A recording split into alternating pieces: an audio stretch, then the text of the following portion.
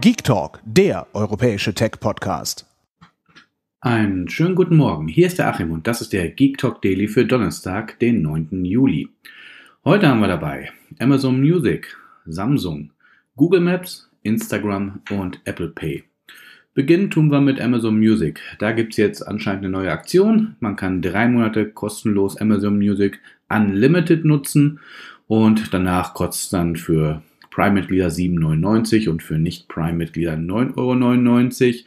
Logischerweise, wie so oft, eigentlich nur für Neukunden. Es gab wohl aber in der Vergangenheit auch die Möglichkeit, dass das schon mal ehemalige Bestandskunden auch ähm, neu abschließen konnten. Solange der Vorrat reicht, also nicht endlos, ähm, also wenn ihr Interesse habt, probiert es einfach mal aus. Letzte Woche ähm, ging es ja relativ hoch äh, durchs Netz, dass Apple plant, kein Ladegerät und auch keine Kopfhörer mehr zum iPhone dabei zu packen. Und ähm, schneller als erwartet hat jetzt auch Samsung wohl nachgezogen.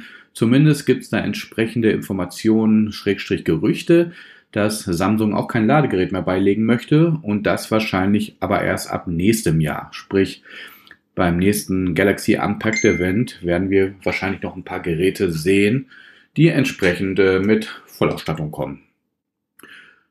Google Maps, die haben jetzt in Amerika angefangen, auch Ampeln einzublenden auf ihren Karten. Das hatte Apple bereits ab iOS 13 auch gemacht, und zwar Ampeln und auch Stoppschilder wurden auf Apple Maps angezeigt oder Apple Karten, wie man in Deutschland sagt. Ja, und Google zieht wohl jetzt nach, aber erstmal nur in Amerika und äh, wie so oft, da müssen wir mal gucken, wie lange es dauert, bis das dann auch in Deutschland auftaucht. Das ist auf jeden Fall eine gute und gern gesehene Funktion. Instagram, die haben jetzt eine neue Funktion ausgerollt, die war bereits im Mai angekündigt und man kann nun entsprechend seine Lieblingskommentare an einen Post anpinnen. Das kennen wir generell von Twitter und Facebook, wo man sich einen, generell einen Post oben äh, in seiner Timeline, in seinem Profil äh, anpinnen kann. Und bei Instagram geht das jetzt mit Kommentaren pro Post und nicht nur mit einem, sondern sogar mit drei. Entsprechend, man wischt einmal rüber, hat dann einen Pin und kann dann entsprechend den Kommentar anpinnen und dann jeder, der sich das Foto oder das Video anguckt, hat dann oben die drei Kommentare als erstes, bevor es dann ganz normal in den, mit den anderen Kommentaren darunter weitergeht. Letztes Thema für heute, Apple Pay.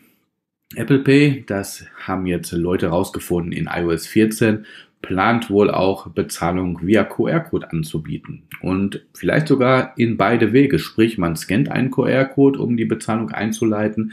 Das kennen wir ähm, besonders von WeChat Pay ähm, in äh, China. Da läuft das so, dass ganz viele, ähm, ja, auch Straßenhändler einfach einen QR-Code an ihrem Stand haben und mit der WeChat-App scannt man diesen und dadurch wird praktisch halt die ganze Information überliefert, die man so braucht ähm, für das Konto und dann gibt man einfach noch die Summe ein, die man bezahlen möchte, zeigt das dem Händler in dem Beispiel und dann ist äh, die Transaktion gelaufen.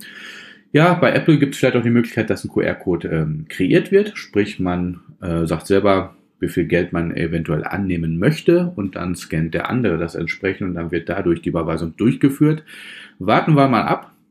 Ist auf jeden Fall ein spannendes Thema. Äh, hätte ich früher auch nicht gedacht, aber China zeigt ja, bezahlen mit QR-Code ist anscheinend durchaus eine populäre Möglichkeit, die auch wenig kostet. Also im Gegensatz zu Touch äh, und Wireless Bezahlung, wo man ja auf jeden Fall ein Gerät braucht. Ja, und das war's dann auch schon für heute. Habt einen großartigen Donnerstag, bleibt positiv und dann hören wir uns hoffentlich morgen zum Ende der Woche wieder. Hört mehr Geek Talk